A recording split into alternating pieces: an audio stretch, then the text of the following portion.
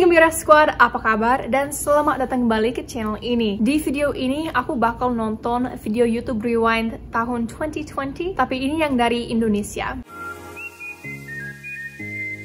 Ada banyak komen di channelku yang minta aku bikin video reaksi ini. Dan maaf karena aku agak terlambat Tapi semoga kalian terhibur. Dan seperti aku sering bilang pas bikin video reaksi uh, Reaksi aku biasanya agak polos Jadi maaf kalau kurang menarik. Oke okay guys, jadi video ini dari channel Indonesian YouTubers. Siap?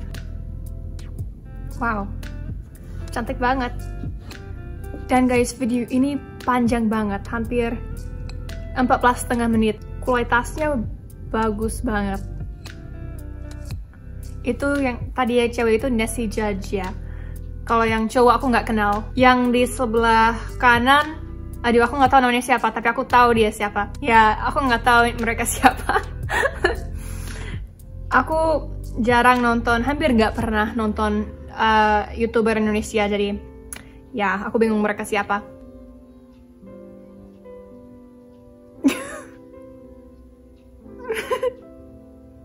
itu Leonardo Edwin. BTW guys, dulu dia kuliah dekat aku di Washington dan aku tinggal di Idaho. Yang itu Aditya Dika buka.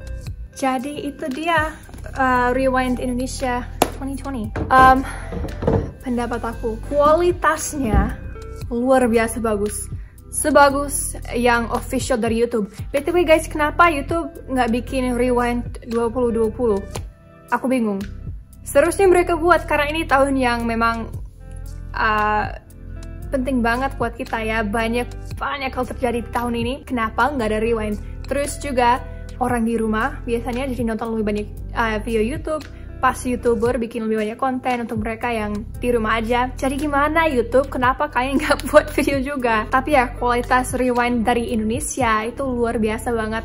Aku kenal cuma beberapa um, youtubernya Nessie Judge Nessie Judge apa Judge Judge kayaknya ya. Leonardo Edwin, Aditya Dika, kayaknya itu aja. Ada yang kelihatan familiar tapi aku nggak tahu nama mereka siapa. Tapi ya kayak aku bilang tadi ya, aku jarang nonton YouTubers Indonesia. Ada banyak hal yang mungkin aku nggak ngerti karena aku sudah nggak di sana dan nggak ada di Indonesia dan nggak tahu semua yang terjadi di sana. Ada beberapa hal yang masuk itu yang aku nggak terlalu suka. Terus lagu yang mereka pilih untuk ada di video ini, uh, ada yang bagus, tapi ada juga yang aku nggak suka, ada banyak kata kasar. Makanya aku edit karena aku nggak mau itu ada di uh, channelku. Tapi memang videonya bagus dan aku suka cara itu mulai ya dengan anak kecil itu di ruang. Videonya indah banget pada dasarnya. Gimana pendapat kalian? Tulis di bawah di komentar. Makasih sudah nonton video ini. Kalau kalian suka tolong bagi di sosial media dan dengan teman-teman kalian itu aja untuk video hari ini. Makasih dan sampai ketemu lagi di video berikutnya. Dan semoga tahun 2021 lebih bagus dari tahun terakhir ini. Dah!